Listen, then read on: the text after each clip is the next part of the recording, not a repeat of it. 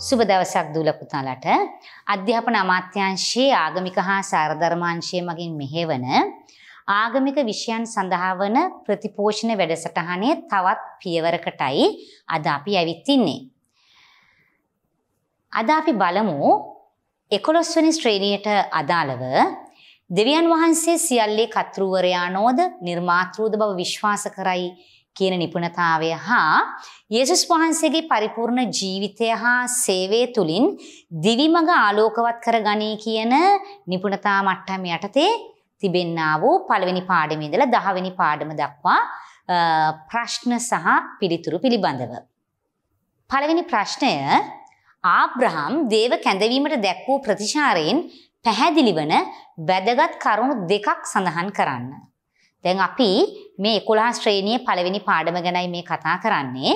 එතනදි දුවේ පුතේ මම පැහැදිලි කිරීමක් කරගන්න කරන්නම්.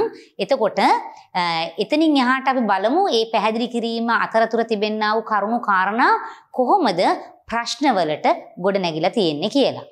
ඉතින් ආබ්‍රහම්ට දෙවියන් වහන්සේ කැඳවීමක් දෙනවා තමන්ගේ නෑදෑයන් මව්බිම ඒ සියල්ල අතහැරලා උන්වහන්සේ පෙන්වන දේශයට යන්න කියලා. එතකොට ඒ කැඳවීමට ආබ්‍රහම් කීකරු වෙනවා. ඒ වගේම දෙවියන් වහන්සේ ආබ්‍රහම්ට පොරොන්දු දෙනවා මහත් ජාතියක් ලබා දෙන බවට දේශයක් දෙන බවට ඒ වගේම කීර්තිමත් නාමයක් නැත්නම් ආශිර්වාදලත් නාමයක් ලැබෙන බවට.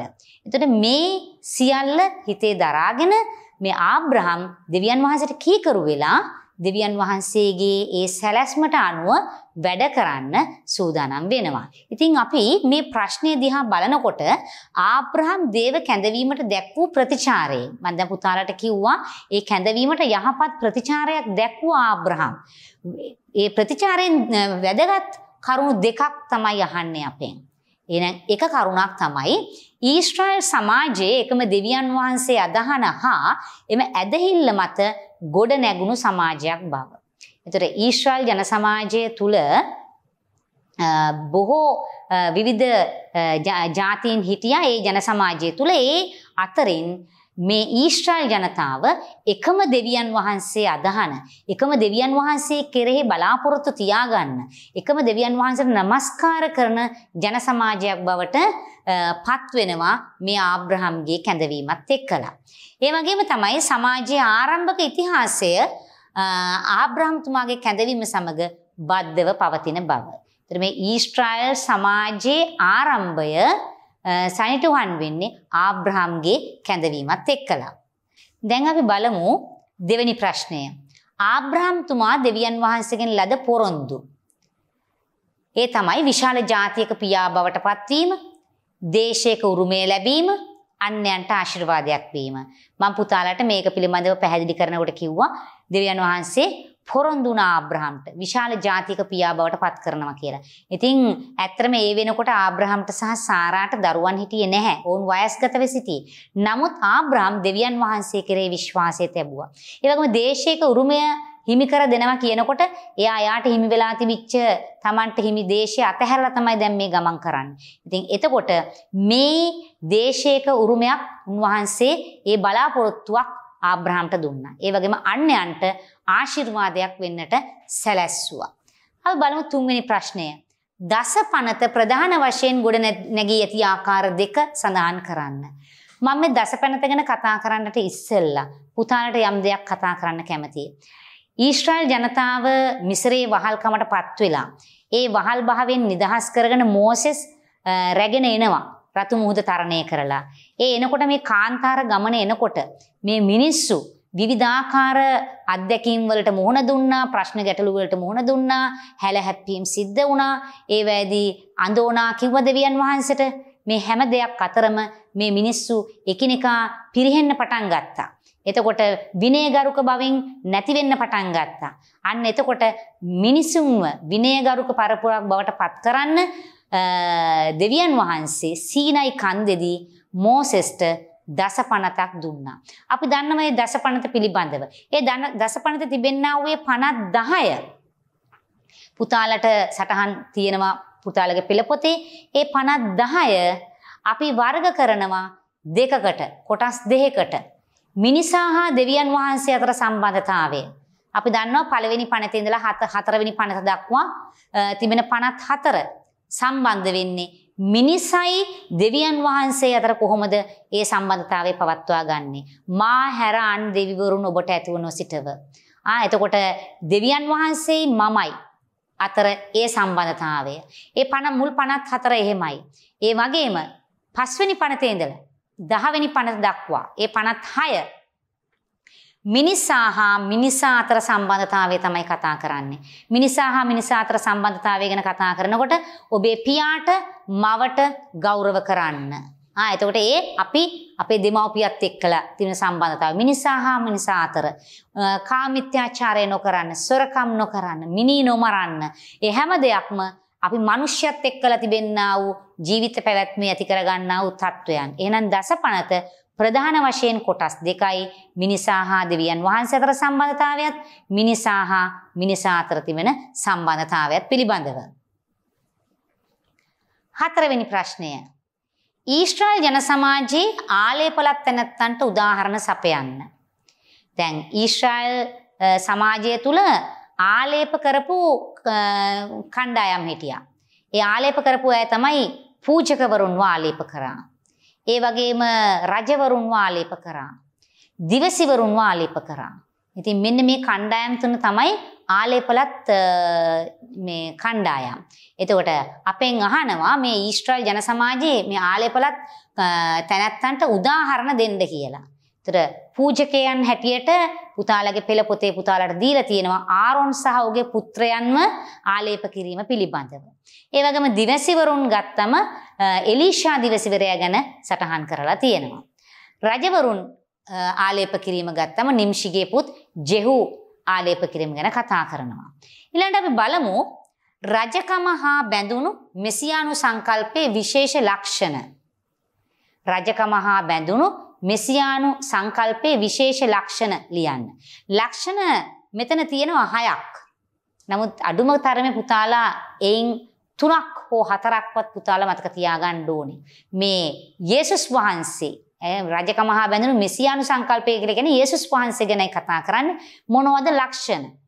එකක් තමයි දාවිත් රජ පරපුරෙන් පැමිණෙන මෙසියස් පිළිබඳ ඉංගිය. දැන් අපි දන්නවා අපි ගීතිකාවක් ගායනා කරත් අපි කියන්නේ දාවිත් රජපුරේ වරක්. ආ ඒ වගේ අපි දන්නවා දාවිත්ගේ වංශයෙන් තමයි යේසුස් වහන්සේ මේ ලෝකෙට එන්නේ කියන එක පැරණි ගිවිසුමේ දිගින් දිගටම සඳහන් කරලා තියෙනවා. එහෙනම් රජකම හා බැඳුණු මෙසියානු සංකල්පයේ ලක්ෂණයක් තමයි දාවිත් පරපුරෙන් උපත ලබනවා කියන එක. දෙවැනි එක තමයි මෙසියස් වහන්සේගේ රාජ්‍ය සදාකාලික බව. එහෙමනම් උන්වහන්සේගේ රජකම තුල උන්වහන්සේ රජෙක් විදිහට වැඩ කරන ඒ රාජ්‍ය මේ දැන් මේ ලෝකයේ තියෙන රාජ්‍යයන් වගේ නෙමෙයි. ආ දැන් වර්තමාන රජයක් ගත්තම විවිධ වකවානුවලදී වෙනස් වෙනවා. නමුත් මෙසියස් වහන්සේගේ රාජ්‍ය සදාකාලිකයි. ඊළඟට සාධාරණත්වය හා යුක්තිය පැවතීම. මෙසියස් වහන්සේගේ රාජ්‍ය තුල යුක්තියයි සාධාරණත්වයයි ගොඩනැගෙනවා.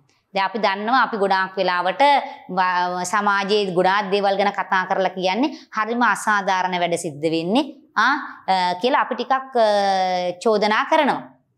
නමුත් යේසුස් වහන්සේ රජකම් කරන ඒ රාජ්‍ය තුල යුක්තියක් සාධාරණත්වයක් තියෙනවා. ඊළඟ කාරණය බරක් වූ වියදණ්ඩ කඩා දමා විමුක්තිය උදා කිරීම. මේ වචනයේ ගැඹුරු බවක් දැනුණට මගේ පුතේ බරක් වූ වියදණ්ඩ කඩා දමා විමුක්තිය උදා කිරීම කියලා කියන්නේ අපි බොහෝ වෙලාවට ලෞකික ජීවිතයේ සැප සම්පත් හොයන්න මේ ලෝකේ ජීවිත ගමනත් එක්කලා ඒ දෙන සටනේ ගොඩාක් වෙහෙස වෙනවා. නමුත් අපිට විමුක්තියක් තියෙන්නේ යේසුස් වහන්සේගේ මාර්ගය හොයාගෙන යෑම තුළ විතරයි. ඉතින් එහෙනම් උන්වහන්සේ යේසුස් වහන්සේ තමයි ඒ විමුක්තිය උදා කරන්නේ. ඊළඟ කාරණය අසිරිමත් උපදේශකයානෝ ඒ වගේම සාමේ කුමාරයානෝ. දුල පුතාලා දන්නවා අපි වචනටත් කියනවා යේසුස් වහන්සේ ගැන සාමය කුමාරයා කියලා. සාමය කුමාරයා ලොවට බිහි වුණා කියලා. ඉතින් එහෙමනම් රජක මහා බැඳුණු වෙස්සියානු සංකල්පයේ ලක්ෂණ වලින් පුතාලා අඩුම තරමේ හතරක්වත් මතක තියාගන්න ඕන. අපි ඊළඟට බලමු හයවෙනි ප්‍රශ්නය. යේසුස් වහන්සේ තුළින් ලැබෙන ආලෝකය හඳුන්වන්න. දැන් මෙසියස් වහන්සේ තුළින් ලැබෙන ආලෝකය ගැන පුතාලට සඳහන් වෙනවා පරිපූර්ණ ජීවනය. ඒවගේම සාමය හා සංහින්දියාව. පාපෙන් නිදහස රෝගවලින් නිදහස දේවරාජ්‍යයේ වටිනාකම් සහ දේශපාලන ආර්ථික පීඩනයෙන් නිදහස. ඉතිං මෙසියස් වහන්සේ අප අතර ක්‍රියාත්මක වෙනවනං අපිට අපි උන්වහන්සෙත් එක්කලා ඒ සම්බන්ධතාවය පවත්වගෙන යනවනං පරිපූර්ණ ජීවනයක් අපිට ලැබෙනවා. ඒ වගේම සාමය සංහිඳියාවක් තියෙනවා. පුතාල දන්නවා වර්තමානයේ බොහෝ වෙලාවට සාමය නෙමේ පවතින්නේ බොහෝ තැන්වල අසමාදානය. ගැටලු ප්‍රශ්න තමයි තියෙන්නේ. නමුත් මෙසියස් වහන්සේගේ ආලෝකය ලැබෙන අපි ඒ සාමය හා සංහින්දියාව තුළ ජීවත් වෙන්න පුළුවන්කම තියෙනවා. ඒ වගේම පාපයට නිදහස, රෝගවලට සුවය, එහෙම නැත්නම් නිදහස. දේව රාජ්‍යයේ වටිනාකම් අවබෝධ කරගන්න පුළුවන්කම තියෙනවා. රයිට්. අපි ඊළඟට බලමු හත්වෙනි ප්‍රශ්නය. පැරණි කිවිසුමේ සඳහන් වන බැටළු වෙඬේරුන් ලෙස වෘතියේ යෙදුණු තිදෙනෙකු නම් කරන්න. පැරණි කිවිසුමේ බැටළු වෙඬේරු හැටියට කවුද ක්‍රියා කළේ කියලා නම් තුනක් තමයි අහන්නේ.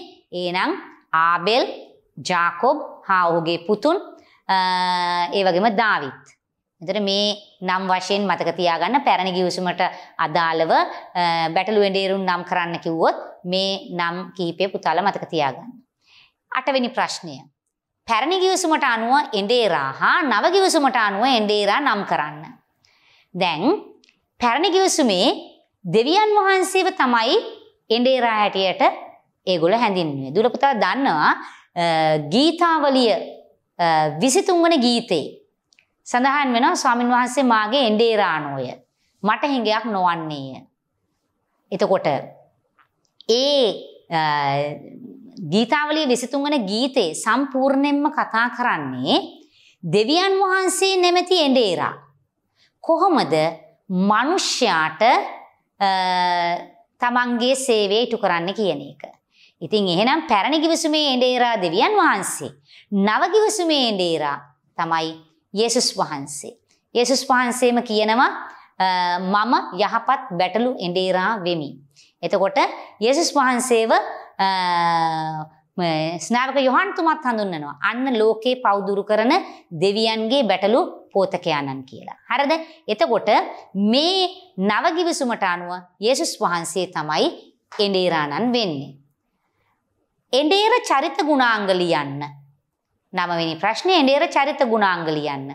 එතකොට දැන් මම මේක බොහොම කෙටි කරලා ලක්ෂණ විදිහට තමයි ලියලා තියෙන්නේ. නමුත් පුතාලට පෙළ පොතේ මේක විස්තරාත්මකව තියෙනවා. තවදුරටත් ඒක කියව ගන්න ඕනේ. එඬේරෙක්ට මොනවද තියෙන්න ඕන ලක්ෂණ කියලායි අහන්නේ. එඬේරෙක් තමන්ගේ බැටළුවන්ව ප්‍රධාන වශයෙන් ගත්තොත් පෝෂණය කරන්න ඕනේ. ඒ වගේම මඟ පෙන්වන්න ඕනේ, රැක බලා ගන්න ඕනේ. ඒ වගේම යම්කිසි ආකාරයකින් මේ බැටළුව නැති වුණොත් සොයාගෙන එන්නත් ඕන. ඊළඟට ආරක්ෂා කිරීම හා ජීවිතය කැප කිරීම. මේ යේසුස් වහන්සේ නැමැති එඬේරත් එක්ක අදාළ කරලා අපිට ජීවිතය කැප කිරීම කියන වදනක් දීලා තියෙනවා. ඒ වගේම එඬේරෙක් තමන්ගේ බැටළුවන්ව හඳුනාගත යුතුයි. එතකොට එහෙනම් එඬේරෙක් කියලා කියන්නේ බැටළුවන් කියලා මෙතන කතා කරා වුණත් අපි කතා කරනවා අපි නායකයෙක් විදිහට කොහොමද අපි එඬේර ගති ලක්ෂණ ක්‍රියාත්මක කරන්න කියලා. දැන් ඊළඟට දහවෙනි ප්‍රශ්නේ අපි කතා කරනවා එඬේරුන් ලෙස අප ක්‍රියා කළ යුතු ආකාරය සඳහන් කරන්න. අන්න එඬේර චරිත ගුණාංග මම දැන් කතා කළා. අපි එකිනෙකාව පෝෂණය කරන්න ඕනේ, මඟ පෙන්වන්න ඕනේ, රැක බලා ගන්න ඕනේ, ආරක්ෂා කරන්න ඕනේ. ඒ හැම දෙයක් ඒ වගේම අපි හඳුනා ගන්න ඕනේ අයව. ඒ වගේම තමයි එඬේරු ලෙස ක්‍රියා කරනකොට අපි වැඩ කරන්න ඕන කොහොමද කියලා යහන්නේ. එඬේර ප්‍රේමය. අපි එකිනෙකාට ප්‍රේමයෙන් සැලකිය යුතුයි. කාවත් ඉස්සර කරගෙන නැත්තම් කාවත් ලොකු කරගෙන නැත්තම් එක් කණ්ඩායමකට විතරක් නෙමේ තමන්ගේ සේවාව. හැමෝන්ටම ලොකු පොඩි දුප්පත් පොහොසත් උගත් නූගත් මේ සෑම දෙනාටම තමන්ගේ සේවාව ලබා දෙන්න ඕනේ. කැපවීම හා වැයවීම. තමන් එඬේරෙක් නම් තමන් තුල ඒ කැපවීම තියෙන්න ඕනේ. ඒ සේවය කරන්න. දැන් ගොඩක් වෙලාවට අපි බොහෝ තැන්වල නැත්නම් බොහෝ සංවිධානවල අපි යම් යම් තනතුරු බාර ගන්නවා සමාජිකත්වයේ දරනවා නමුත් අපේ කැපවීමක් ඒ කෙරෙහි නෑ අපේ වැයවීමක් අපේ ජීවිතේ නෑ ඉතින් ඒ නිසා නමුත් වෙන්න ඕනේ අපේ කැපවීම අපේ වැයවීම තියෙන්න ඕන සේවකත්වය. ඊටාම වැදගත් කොටසක් ඒක සේවකත්වය කියලා කියන්නේ. අපි අනිත් අයට සේවක ස්වරූපයෙන් ඒ කියන්නේ අපි ඒ අයට උදව් උපකාර කරන ඒ අය වෙනුවෙන් මේ දරාගෙන වැඩ කරන අය බවට පත් වෙනුනේ නෑ. එන්ඩේරෙක් විදිහට වැඩ කරන්නේ ඒ ආකාරයෙන් තමයි. ඊළඟට අපි බලමු 11 වෙනි ප්‍රශ්නය. බැටළුවන් ලෙස අප ක්‍රියා කළ යුතු ආකාරය සඳහන් කරන්න. දැන් ඉන්ඩේරෙක් විදිහට නේ කතා කරේ අපි ඉන්ඩේරෙක් හැටියට ගත්තම නායකයෙක් විදිහට ඒ කතා කරේ නමුත් අපි නායකයා යටතේ ඉන්න කෙනෙක් විදිහට ගත්තොත් අපි බැටළුවෙක් නම් අපි කොහොමද වැඩ කරන්න ඕනේ? එඬේරාගේ හඬට ප්‍රතිචාර දැක්වීම. දැන් අපි අහුම්කම් දෙන්න ඕනේ අපේ නායකයාට. නායකයා මොනවද කියන්නේ? මොනවද අපෙන් බලාපොරොත්තු වෙන්නේ? එහෙනම් අපේ ප්‍රතිචාරය යහපත් ප්‍රතිචාරයක් වෙන්න ඕනේ. අපි කියන්නේ හැම දෙයකම නෑ කියාගෙන බෑ කියාගෙන ආ එහෙම නෙමෙයි. අපිට හැකි දේ අපි අපේ ජීවිතයෙන් කරන්න ඕනේ. ඊළඟට ඊළඟ ලක්ෂණය තමයි එඬේරාගේ හඬට පිටුපෑමෙන් සිදුවන අන්තරාය හඳුනා ගැනීම. දැන් ඇත්තටම අපි අවබෝධ කරගන්න ඕනේ අපි අපේ නායකයාට නැත්තම් අපිත් එක්කලා අපිව මෙහෙයවන කෙනාට පිටුපෑවොත් නැත්තම් අවිශ්වාසී විදිහට වැඩ කළොත් අපිට සිද්ධ වෙන්නේ මොකක්ද කියන එක. ඉන්දියාගේ හඬට පිටුපෑවොත් සිදුවන අනතුර ගැන අපි අවබෝධයෙන් ඉන්න ඕනේ. ඊළඟ කාරණය තමයි විශ්වාසවන්ත බැටළු වෙඬේරාණන්ට කීකරු වීම. බැටළු වෙඬේරට අපි අනිවාර්යයෙන්ම කීකරු වෙන්න ඕනේ ඒ කියන දේට. ඉතින් එහෙමනම් බැටළුව හැටියට අපි කොහොමද ක්‍රියා කරන්නේ? හඬට ප්‍රතිචාර දක්වන්න ඕනේ. එඬේරාගේ හඬට පිටුපෑමෙන් සිදුවන අනතුරු හඳුනා ගන්න ඕනේ. විශ්වාසවන්තව කීකරුව කටයුතු කරන්න ඕන. දැන් අපි බලමු ඊ 12 වෙනි ප්‍රශ්නය. ඇදහිල්ල නිසා දුක් විඳි පැරණි ගිවිසුමේ පුද්ගලයන් දෙදෙනෙකු නම් කරන්න.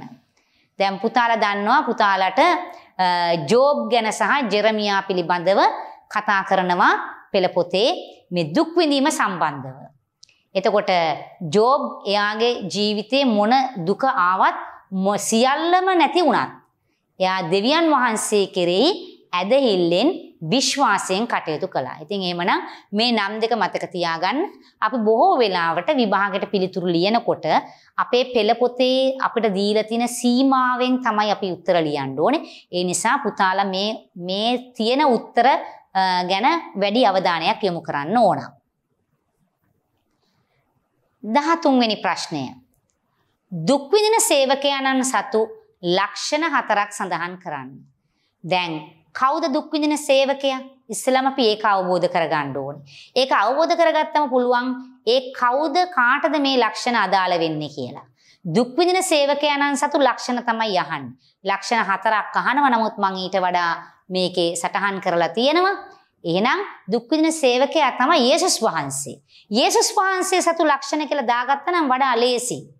දෙවියන් වහන්සේගේ ආත්මානුභාවය ලබා සිටිනවා. ඉතින් දෙවියන් වහන්සේගේ ආත්මානුභාවයෙන් තමයි යේසුස් වහන්සේ ක්‍රියා කළේ. ඒතර සැරපරුෂ ගති ලක්ෂණ වෙනුවට මුරුදු ලීලාවෙන් සැරසී සිටිනවා. මේ සියලු වදන් යසායා දිරසිවරයා තමයි කියන්නේ. පැමිණෙන මෙසියස් වහන්සේ මොන වගේද? ආ උන්වහන්සේ දුක් විඳින සේවකයෙක්. ඒ සේවක ස්වરૂපය තමයි මේ කතා කරන්නේ. ආ දෙවියන් වහන්සේගේ ආත්මානුභාවය දරාගෙන තමයි උන්වහන්සේ එන්නේ. ඒ වගේම සැරපරුෂ ගති ලක්ෂණ වෙනුවට මුරුදු ලීලාවෙන් තමයි කටයුතු කරන්නේ. ඉතින් ඇත්තටම උන්වහන්සේ මේ අසරණ මිනිසයා ගැන බොහොම යහපත් සිතුවිල්ලෙන් තමයි කටයුතු කළේ. දුක් පීඩාවට ලක් වූවන් තවත් පීඩාවට ලක් නොකරයි. දැන් සමහර වෙලාවට ප්‍රශ්න ගැටලු වල ඉන්න මිනිස්සුන්ට තව තවත් කරදර මිනිස්සු දෙනවා.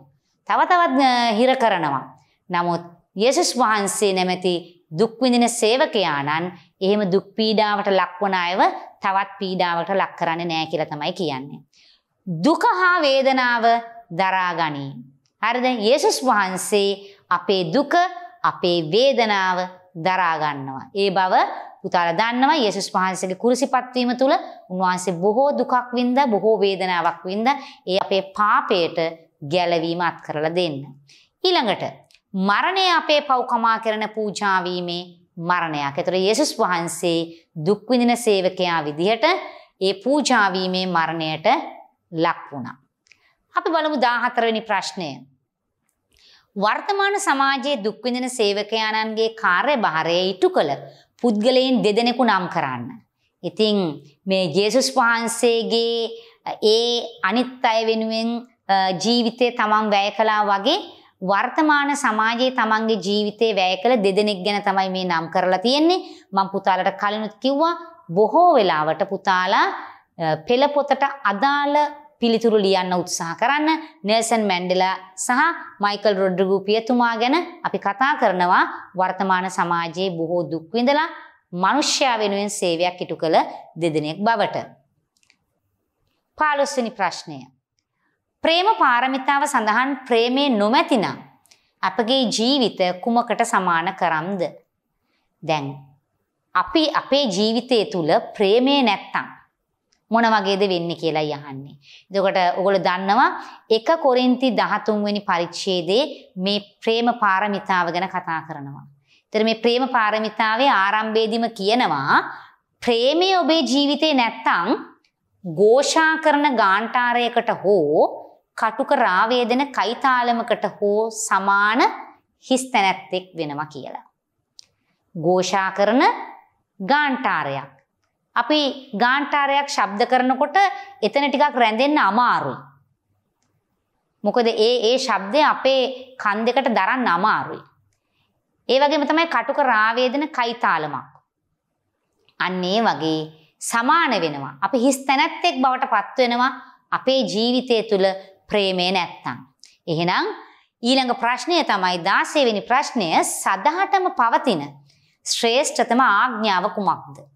එහෙනම් අපි කලින් ප්‍රේම ප්‍රාරමිතාවේ තිබෙන ප්‍රේමය ගැන කතා කළා.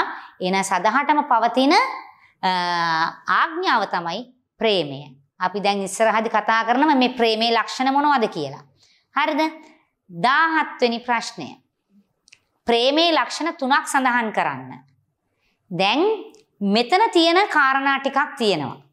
ඒක පොඩ්ඩක් අවධානය යොමු කරන්න ඕනේ. ඉවසිලිවන්තය මේ ඉවසීම කියන එක අපි ප්‍රගුණ කළ යුතු දෙයක්. අපිට බොහෝ වෙලාවට බොහෝ කාරණාවලදී ඉවසීම නැති වෙලා ටිකක් කේන්ති යන ස්වභාවයක් තමයි අපේ ජීවිතවල තියෙන්නේ.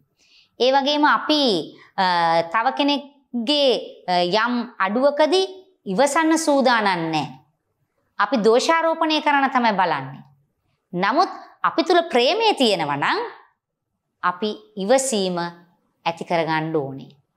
ඒ වගේම අපේ ජීවිතය තුළ කරුණාවන්ත බව තියෙන්න ඕනේ. දැන් දුල පුතාලා දන්නවා අපි තැනකට ගියාම විශේෂයෙන් රෝහලකට ගියාම ආ අපි ටිකක් ලෙඩ වෙලා අසරණ වෙලානේ යන්නේ. ඒ එහෙම ගියාම අපි බලාපොරොත්තු වෙනවා ඒගොල්ලන්ගේ කරුණාවන්ත වචන. අපිව බොහොම කරුණාවෙන් අපිට සලකයි කියලා. නමුත් ඒ ගිය තැන අපි අසනීපෙන් අමාරුකමින් ඉන්න මොහොතේදී ඒගොල්ලෝ අපිට සැරවැර වෙනවනම් අපිට ඒක වේදනාවක්. එහෙනම් ප්‍රේමය ඔබේ ජීවිතේ තියෙනවා නම් ඔබ සෑම මොහොතකම අනිත් කෙනා එක්කලා කරුණාවන්තව කටයුතු කරන්න ඕනේ. ඒ වගේම ඊර්ෂ්‍යා වන්නේ නැත. දැන් සමහර වෙලාවට තමන්ට වඩා යමක් ඊළඟ කෙනාට තියෙනවා නම් තමන්ට වඩා වැඩි දැනුමක් ඊළඟ කෙනාට තියෙනවා නම් වෙන තමන්ට වඩා ක්‍රීඩාවෙන් හෝ නාට්‍යයෙන් හෝ රංගනයෙන් හෝ මොන ආකාරයකින් හෝ දක්ෂතාවයක් තියෙනවා නම් එහෙම නැත්නම් එයාව නායකත්වයට තෝරා ගන්නවා නම් අන්න ඊර්ෂ්‍යා සහගත වෙන වෙලාවල් තියෙනවා. එතකොට සමහර වෙලාවට අපි ඊළඟ කෙනා ගැන වැරදි කියන්න යනවා. ඒ මොකද අර අනිත් කෙනා ඉහළට යන්න යන්න ඉදිරියට යන්න යන්න යව වටන්න අපි මොකක් කර පියවර ගන්නවා. නමුත් ප්‍රේමය අපේ ජීවිතේ තියෙනවා නම් කාට මොන දේ ලැබුණත් කවුරු මොනතරම් දක්ෂ වුණත් කවුරු මොනතරම් ඉදිරියට ගියත් අපි ඊර්ෂ්‍යා කරන්නේ නැහැ. අපි ඒ අය ගැන බලලා සතුටු වෙන්න පුළුවන් වෙන්න ඕනේ. ඒකයි ඒක තමයි ප්‍රේමේ ලක්ෂණය. ඊළඟට පාරට්ටු කරගන්නේ නැත. දැන් සමහර වෙලාවට අපි පාරට්ටු කරගන්නවා. අපිට හවල් දෙය පුළුවන්, අවල් දෙය පුළුවන්, අරයට නම් බෑ, මෙයාට බෑ. එලා අපි අපි ගැන වර්ණනා කරගන්නවා. නමුත් අපේ ජීවිතේ ප්‍රේමය තියෙනවා නම් අපි එහෙම පාරට්ටු කරගන්නේ නැහැ. උඩඟු වන්නේ නැත. ආ අපි සමහර වෙලාවට අපේ වත් පොහසත්කම් හින්දා අපේ උගත්කම නිසා අපේ ගෙවල් දොරවල් යාන වාහන අපේ ඉන්න නෑදෑ පිරිසක තිබෙන්නා වූ තත්වයන් නිසා අපි උඩඟු වෙන්න උත්සාහ කරනවා. නමුත් දුවේ පුතේ අපේ ජීවිතයේ ප්‍රේමය තියෙනවා නම් අපිට එහෙම උඩඟු වෙන්න බෑ. අවිනීත නොවේ. දැන් වර්තමානයේ බොහෝ කතා කරන එකක් තමයි විනය පිළිබඳව. පාසැල් වලත් විනය කමිටුවක් කියලා වෙනමම තියෙනවා. ඒ කියන්නේ ළමයි අවිනීත ලෙස ක්‍රියා කරන්න යොමු වෙනවා. නමුත් හොඳට මතක තියාගන්න. මේ අවිනීතකම කියනකොට ඔයගලන්ට හිතෙන්න පුළුවන් ඇඳුම පැළඳුම ගැන වචන ගැන විතරක් නෙමෙයි. අපි කන බොන දේ ගැන වුණත් යන ගමන් බිමන් වුණත් ඒ යන වෙලාවන් මේ හැම දෙයක්ම විනීත විය යුතුයි. අපේ කතාව විනීත විය යුතුයි. අපේ ඇඳුම පැළඳුම තවත් කෙනෙකුට බාධාවක් වෙන්න බෑ. තවත් කෙනෙකුගේ මේ කැළඹීමකට පත් වෙන්න බෑ. එහෙමනම් අපි විනීත විදිහට කටයුතු කරන්න ඕන. ආත්මාර්ථකාමී නොවේ. ආත්මාර්ථකාමී කියලා කියන්නේ තමන්ටම රැස් කරගන්නවා කියන එකනේ. මගේ මට තමයි. මන් තමයි කරන්නේ. නමුත් අපි අනිත් අයව එකතු කරගන්න ඕනේ. පරාර්ථකාමී විය යුතුයි. එහෙනම් ප්‍රේමේ ලක්ෂණ හැටියට පුතාලට මෙන්න මේ කාරණා ටික මතක තියාගන්න ඕනේ. 18 වෙනි ප්‍රශ්නය. ජේසුස් වහන්සේ ප්‍රේමයේ සම්බන්ධව වදාළ ශ්‍රේෂ්ඨතම ආඥාවේ ඇති කොටස් දෙක නම් කරන්න. යේසුස් වහන්සේ ප්‍රේමයේ සම්බන්ධව වදාළ ශ්‍රේෂ්ඨතම ආඥාවේ ඇති කොටස් දෙක. ඒ කොටස් දෙක තමයි ඔබගේ මුළු ජීවිතයම දෙවියන් වහන්සේට ප්‍රේම කිරීම, ඒ වගේම තමාට මෙන්ම තමාගේ අසල්වැසියට ප්‍රේම කිරීම. දැන් පුතාලා දන්නවා අපි දසපනතෙනුත් මුල් 54 අපි කිව්වා දෙවියන් වහන්සේත් එක්ක සම්බන්ධතාවය. එතකොට අනිත් 56 අපි කිව්වා මිනිස්යා එක්ක සම්බන්ධතාවය. ඉතින් ඒ වගේම මෙතන ප්‍රේමයේ සම්බන්ධවත් කතා කරනවා ශ්‍රේෂ්ඨතම ආඥාවේ තිබෙනා වූ කොටස් දෙක හැටියට ඔබේ මුළු ජීවිතේන්ම දෙවියන් වහන්සේට ප්‍රේම කරන්න ඕනේ. ඒ වගේම තමන්ගේ අසල්වැසියට ප්‍රේම කරන්න ඕනේ. 19 වෙනි ප්‍රශ්නය. ප්‍රේමේ පදනම මත ජීවිතේ ගොඩනගා ගැනීමේදී අවශ්‍ය ගුණාංග දෙකක් සඳහන් කරන්න. ඔබ ඔබේ ජීවිතය ප්‍රේමය මතනම් ගොඩනගන්නේ ඔබේ ජීවිතය තුළ තිබෙන්න ඕන ප්‍රධානම කාරණා දෙක තමයි යාඥාව සහ ඇදහිල්ල. මං කලිනුත් පුතාලට කිව්වා දෙවියන් වහන්සේත් එක්ක සම්බන්ධතාවය පවත්වා ගන්න නම් යාඥාව අත්‍යවශ්‍යමයි. ඒතර යාඥාව අත්‍යවශ්‍යයි වගේම ඒ ඇදහිල්ලෙන් යුක්තව අපේ යාඥාව කළ යුතුයි. අපිට විශ්වාසයක් නැත්තම් යම් දෙයක් ගැන අපි දෙවියන් වහන්සේත් එක්කලා ඒ පිළිබඳව කතා කරලා වැඩක් නැහැ. එහෙනම් අපි විශ්වාසයෙන් යුතුව තමයි නැත්තම් ඇදහිලිවන්තව තමයි උන්වහන්සේත් එක්ක සම්බන්ධ වෙන්න ඕනේ. එහෙනම් ප්‍රේමයේ පදනම මත තමන්ගේ ජීවිතේ ගොඩනගා ගන්නවා නම් අවශ්‍යම කාරණා දෙකක් තමයි යාඥාව සහ ඇදහිල්ල කියලා කියන්නේ. අපි එහෙමනම් තවත් ප්‍රශ්න කීපයකින් නැවත හම්වෙමු.